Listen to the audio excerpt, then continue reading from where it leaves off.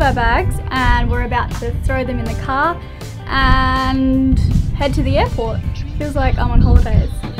And what are we up to this morning? We are flying to Barbados. A long time ago, we had to book in an appointment to try and get a US visa. So you probably remember that we are trying to organise it in Antigua when we were there. And at that time, the closest place was Barbados. We've moved on from there and we probably should have done it in the Bahamas but we're going to fly over to Barbados to try and get our US visas. We're not sailing because we would have to go straight back into the trade winds, which would we just wouldn't get there in time. It'd be a disaster.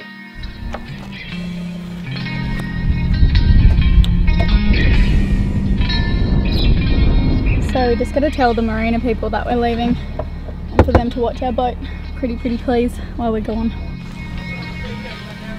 Kyle, is it? Yes, I'm Kyle. Yes, sir. That um, we're not going to be on board for the next four days. Okay. Alright, so we're in the car here with Alex. and this car is actually Conrad's. We met him in, at the medical centre when Riley was getting his stitches out. He's a lawyer and he offered to lend us his car, so that's what we've been driving around and it's just been amazing to have a vehicle here. So Alex get is, around the island in about 10 minutes. Conrad's in Sicily at the moment um, for his son's graduation. So anyway, he's not here, but thank you Conrad, you're amazing. And thank you, Alex, for driving us. Oh, you are.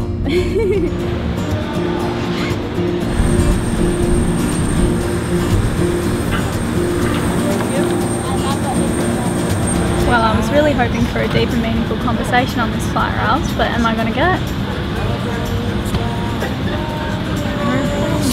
Westerners that they wrote books about.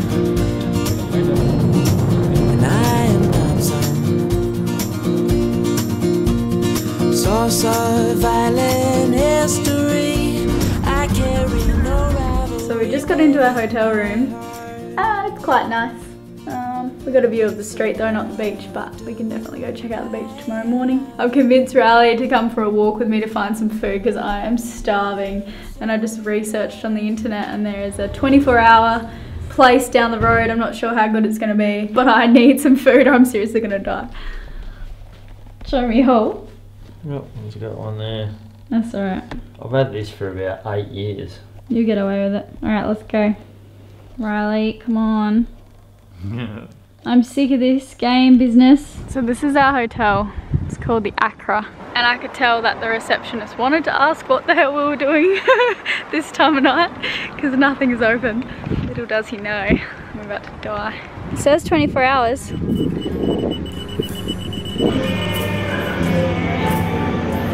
Weird.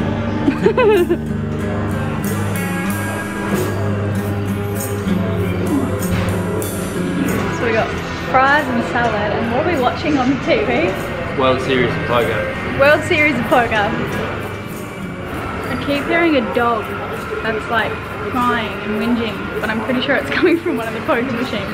It's been very disturbing.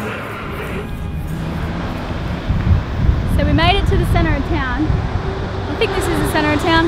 Um, very loud, lots of vehicles and we found ourselves a bridge and some markets. So Riley and I hired a hire car today and we're going to explore the north of the island. Is that what we're doing? We are. Like a like a proper holiday. Yep. When you came out of the blue love came like a bolt from the blue. It's happened once in a blue moon. What's that? We oh got a parking ticket. No, I thought so. I don't know how much for. Doesn't say. Oh, 50 $50. We were there for like two minutes, honestly. I don't know if that's, that's the dude there. That's him drinking the Coke. I saw him when we parked here. That's him. He's not handing out parking tickets. Yeah, he doesn't he... even have shoes on. The culture of Barbados is a blend of West African, Creole, Indian and British cultures present in Barbados.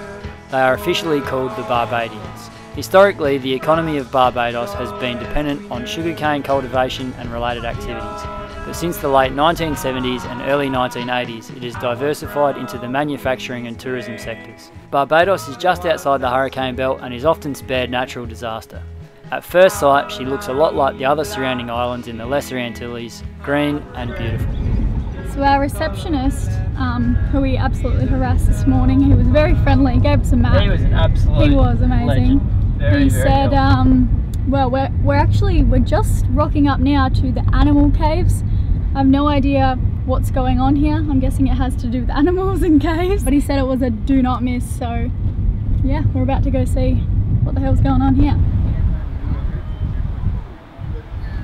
So this place is shut. They just sent their last few people through. And it's actually um, a display of um, flora down there in the cave. So it's like, you know, a sea and an anemone, but except plants. Yeah, so we're going to miss out on that.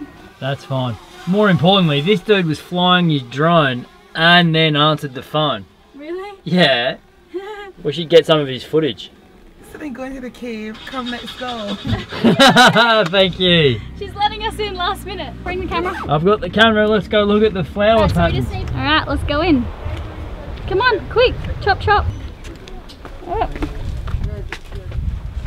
It's a natural forcing cave. Sometimes the force of the water blow right up to those steps. We're looking at right now is all coral and limestone. Barbados is originally from 95% coral, 5% limestone. Bar- Barbados. Barbados, The whole island. the whole island made of coral and limestone. Wow. Billy Ocean that sings the song The Color of Love. Yeah. But he actually filmed a part of his music video right here this opening.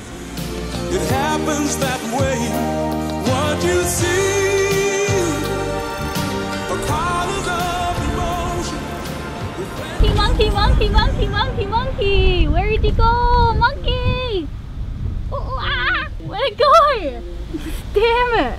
I'm so upset. We just saw a monkey run across the road and climb up a tree. Causing traffic. Devastated. What did you think of the floral cave, Elayna? Um, I thought that if it was something that you'd stumbled across, it would be amazing. But Yeah. because there's stairs and steps And you had to stuff- pay. yeah, and you had to pay 20 bucks each to get in there. And yeah, to pay to get in there, it's just, I don't know, you drive there and there's other tourists there and it's just really, yeah, to find that by ourselves, that would have been amazing. But oh well, sometimes you gotta. so then you need to give yourself credit when you do find something, even if it's like one tenth as good as that. Mm. You know what I mean? And we have. We found places that are like really cool. Yeah. Today's Williams Newsmakers is brought to you. It would have been really awesome to grab an Airbnb for the next few days, like in a little shack, like a colourful shack or something.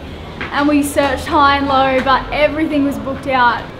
We ended up here, but it's okay. Right, what do we need to do? I've got to look pretty for our appointment. Hang on, give me this camera. No. Give me the camera. Why is this on your head? I don't know. I'm in a ridiculous mood. so yes, we're off to our appointment this morning. Fingers and toes are crossed. We really need this. But you're not going to believe it, or maybe you will. Um, we had passport photos taken in Antigua, and we left the photos on the boat. It's been interesting this morning, realizing this and then rushing around. But um, we found a, a store just down the road, and I think we're still going to be on time. It's not just my fault. Time to stop and smell the flowers. We've made it, Ralph. Yeah, we still haven't been approved, but we've made it 15 minutes early. Well, that was interesting. That lasted for, what, four hours? Got in there at 10, left at 1. Riley, can you quickly add that up? Three hours. three hours. I was filming in the car park and um, a police officer waved us down and then three came out and they took our passports and took our names, made me delete the video in the car park and I was like, what? I, like I can't take a video in the car park. We're trying to do this. We're just trying to talk in the car park. Yeah, I managed to get a video of myself picking a French penny but yeah, straight after that it was very serious and like I, can't, I just can't believe the security measures that they go to like it was full on I was like shaking but anyway And then when you go through the first set of metal detectors, it's like Fort Knox. It's like when you see people walking into the Pentagon. It, mm-hmm. it really felt like that. And Yeah. actually, Someone once told me if you are inviting people on board or you have friends come to stay or particularly if you're running a charter, remember when I, we were talking about this, Elaine? The first thing that people see is the tender. And so what he was saying is, is like, your, your first bit of presentation that you have and, and getting people into the groove of the whole holiday or situation or whatever, the first thing that they see of your boat and their holiday is your tender. And it's similar to if you're eating food, you eat first with your eyes. And like our very first experience of going to the US, and I don't know, it's probably different to just going on a holiday, but still being exposed to this like huge amounts of what would you say, Elayna? Bureaucracy and Yeah. hoo-ha. I felt like I'd done something really wrong. Hoo-ha. Yeah, you, you immediately feel guilty, and it just it's just not the right foot to get off on. I don't think when you're Nah. When you're trying to. And I realise there's so many people trying to get in, and and They have to be like that to protect the borders. just because there's so much volume of people. and there was a large volume of people in there. So what happened was our guy approved our visa. Hooray! The dude goes, okay, visa's approved. Um, come back in five days to get your passports. And Elayna and I both go, like, what? And we didn't even say anything. He's like, how long? How long did you think that was going to take? And we we're like, like, I thought we would have it this afternoon. He wrote us a slip to come back at three, which we'll need to leave pretty soon. And he's going to check online to see if it's approved already. And if it is, he can print them out, and we're free to go. Otherwise, we'll have to send our, we'll have to go back to Turks and Caicos tomorrow, send our passports here via the mail, and wait until we receive them back, which is really annoying. And we really hope that's not the case, but whatever. Anyway, we should go. Honestly. Yeah.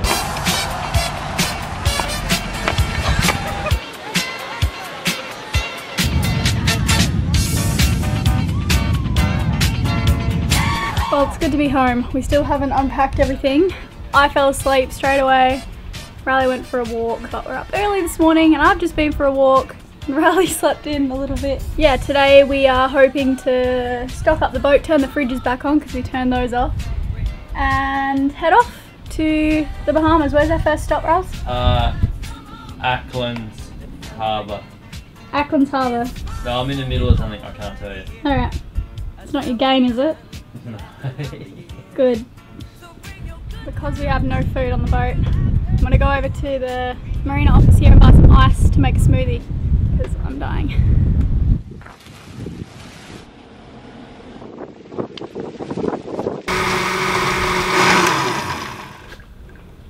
Shukran. nah, it's good. So what's the weather gonna be like when we leave? We're waiting a day because it goes from 25 down to 20, but it'll be rough. It looked pretty rough this morning from Yeah. the beach, yeah. But we'll be right. It's downwind, so I'm not worried at all. I just don't want to leave. It's not that I don't want to. It would just be better to go through that pass when it's not blowing 25. Yeah. But the sailing downwind part, 25 is our bread and butter downwind. That's easy. Food shop. Done. You get up? Don't try it. No, I'm getting it. Good. What's that? This is what we've been craving for the past few days. Like this is all we wanted in Barbados. Months! Just a good salad sanger. It's all you need in life. You might want to elaborate, On the ingredients? no, on the fact that we found ourselves away from the boat Mm, it's hard and to. therefore couldn't cook our own meals and we're eating out and everything's just greasy. So being in Barbados and not being able to get an Airbnb which has kitchens, which like we way prefer because we can buy our own stuff and cook it.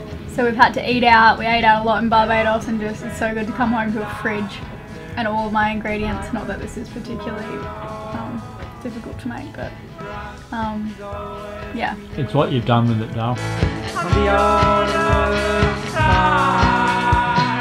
When I